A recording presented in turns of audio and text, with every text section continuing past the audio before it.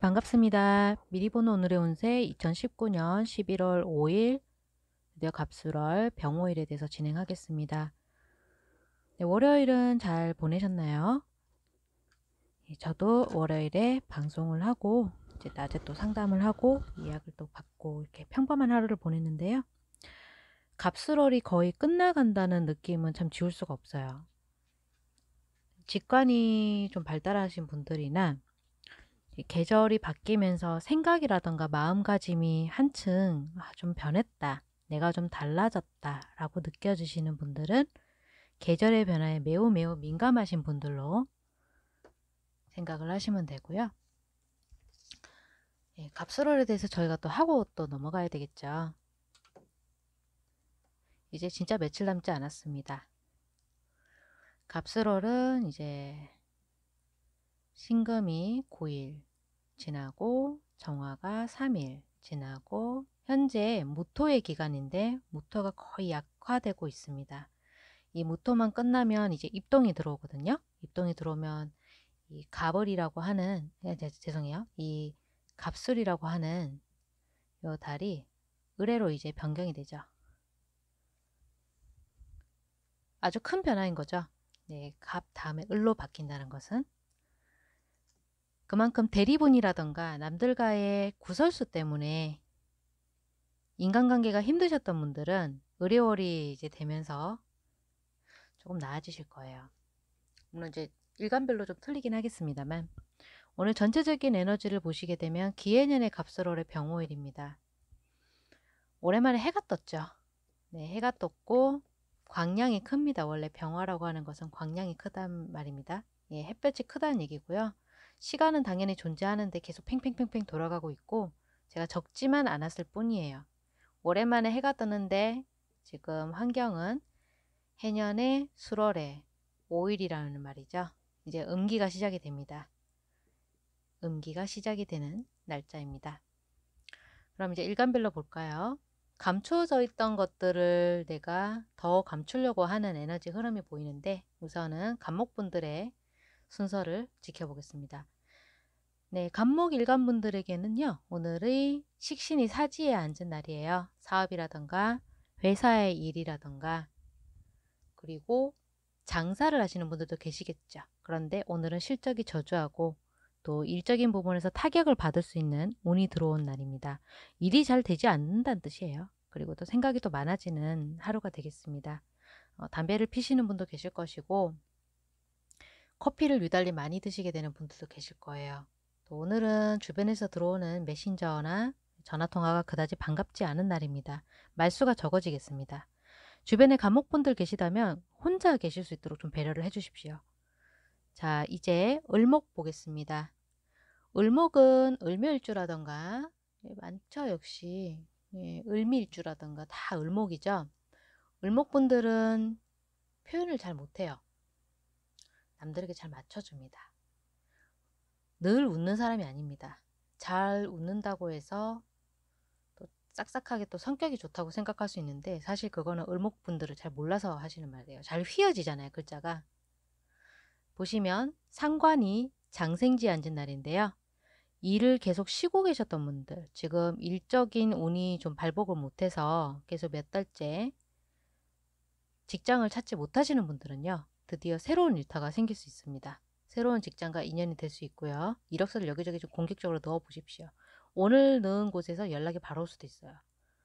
물론 열악할 수 있어요. 본인이 생각했던 것과 좀 다른 회사일 수 있는데 눈높이를 좀 낮추셔야 되세요. 전체적으로는 할 일도 생기고 또 새로운 식구가 늘어날 수 있습니다. 새로운 식구라는 건 어떤 의미일까요? 사람들마다 또 다 다르겠죠? 참고하셨으면 좋겠습니다. 이제 화일간 보겠습니다. 병화, 병화 보겠습니다. 병자일주, 병인일주, 병신일주, 만책죠. 같은 글자가 들어왔어요. 비견이 제왕지에 앉은 날. 비견이 제왕지에 앉았다. 이것은 주변 사람들의 고집 때문에 그 사람들이 너무 너무 자기 고집대로 하려고 하다 보니까 대립이 생길 수 있는 날이에요. 싸울 수 있다는 거죠. 또 주변 사람들의 일 때문에 골이 아파서 네, 죄송해요 이런 단어 써서 신경이 날카로워질 수 있습니다. 그러니까 예를 들어서 이 병화일간이 어머니인데 아이가 속을 썩여서 그럴 수도 있고요. 또는 병화가 자식 되는 입장인데 아버지 어머니 그러니까 내 위에 있는 부모님이죠. 부모님과 의견 대립 때문에 신경이 날카로워지고 내 말을 잘 안 듣고 의견을 의견 융화가 잘 되지 않아서 말다툼이 오고 갈 수 있습니다. 또 주변에서 내 자신의 일이 아니라 이 가족들의 일 때문에 사건 사고가 일어날 수 있는 날이 되겠습니다. 참고하셨으면 좋겠습니다. 이제 정화 볼까요? 정화분들은 겁재가 걸럭지 앉은 날인데요. 사업적으로 동업하시는 분들 예, 혹은 직장 동료 경쟁에서 나를 밀쳐내고 이 직장 동료나 사업 동업자가 이길 수 있는 운이에요. 그러니까 내가 밀려날 수 있는 거죠. 특히 승진, 인사조정에서는 본인이 밀려날 수 있고요. 어, 지방에 괜찮은 지사가 자리가 났는데 티오가 생겼는데 나는 꼭 거기 가고 싶은 거예요. 그런데 밀려나거나 아니면 서울이나 뭐 대전에 본사가 있어요. 그럼 본사 쪽에 내가 꼭 가고 싶었어요. 그런데 밀려나는 거죠. 정말 나는 가고 싶었던 자리고 내가 적임자라 생각했는데 직장 동료에게 내가 그 타이틀을 뺏기는 거죠. 그 자리를. 그래서 직장 동료가 운이 좋아지고 일적인 능력 평가도 하는 일에 비해서 굉장히 후하게 받는 날이란 말입니다.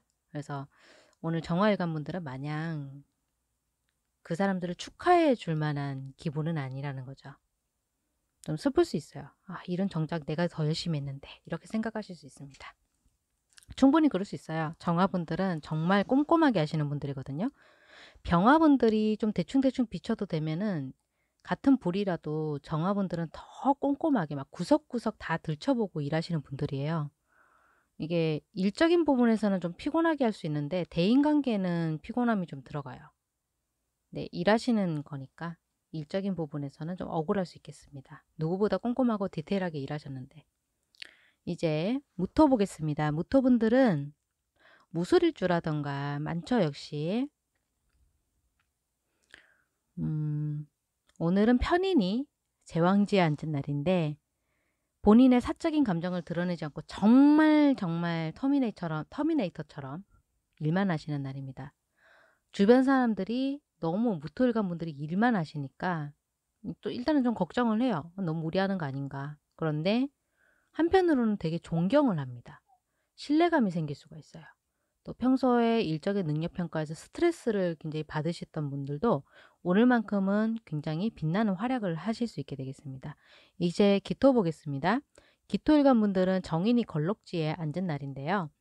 제대로 일 처리를 굉장히 완벽하게 해낼 수가 있는 날이고 오늘만큼은 본인이 하시는 업종에서 어, 거의 진짜 수준급의 일을 하시게 될 것 같아요.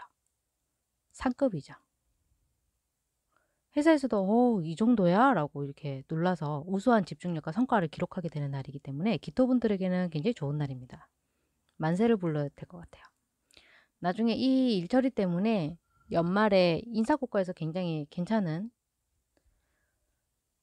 성적을 받게 되실 것이고 만약에 기토분들이 학생이에요. 그럼 성적이 좋단 말이죠. 예, 수능이 얼마 남지 않았죠? 기토 학생분들은 화이팅 하십시오. 자, 경건 보겠습니다. 경건분들은 편관이 목욕지 앉은 날인데 보고서 작성을 하게 될 가능성이 높아요. 또 실적을 좀 과하게 부풀릴 수 있는 날인데 문제는 이것 때문에 거짓말을 할 수가 있고요. 또 구설수가 생길 수 있습니다. 내 상사나 윗선과 등을 돌리지 않도록 그 사람들을 적으로 두지 않도록 조심하시는 것이 필요하겠습니다. 이제 신검입니다. 신검분들은 정관이 병지에 앉은 날인데요. 여성분들에게는 남편이 또 남성분들에게는 자식이 아파서 병원에 갈 수 있어요. 미혼 남녀분들 아직 짝이 없는 분들은 일이 잘 풀리지 않고 나는 제대로 하고 있는데 시스템이 꼬일 수 있는 날이 되겠습니다. 힘내십시오. 이제 수일간 하겠습니다. 임수입니다. 편제가 태지에 앉은 날인데요. 금전운이 오늘 좀 올라가요. 소액복권 당첨이 되시거나 뭐 5천원짜리 이런 거 있잖아요. 그런 거 걸릴 수 있어요. 또 공돈이 생길 수 있습니다. 나는 분명히 계좌가 없다고 생각했는데 휴먼 계좌가 있었고 정리하다 보니까 공인인증서 갱신을 하다가 그 계좌에 남은 금액이 꽤 큰 거예요. 그래서 오랜만에 외식을 하시거나 친구들에게 밥을 산다거나 또 쇼핑을 할 수 있게 되는 그런 운이 들어왔습니다. 자 마지막입니다. 개수입니다. 개수분들은 정제가 절지에 앉은 날인데요. 남성분들은 여자친구하고 헤어지는 운이 들어왔어요. 혹은 부인하고 떨어질 수 있는 운이 들어왔습니다. 여자분들은 안 그렇습니다. 여자분들은 좀 약합니다. 그런 운이. 그래서 언급하지 않겠습니다. 또 수입원이 A에서 그동안 월급을 계속 찍어 주셨다면 이제 오늘 오늘부터는 B라는 곳에서 월급을 찍어줄 수 있는 날입니다. 즉 수입원이 다른 곳으로 바뀔 수 있는 날도 되겠습니다. 이렇게 전체적으로 또 일간 운세를 진행을 해봤고요. 예, 모두 모두 힘내시고 저는 또 수요일 운세 영상 때 뵙도록 하겠습니다. 모두 감사합니다. 좋은 되세요.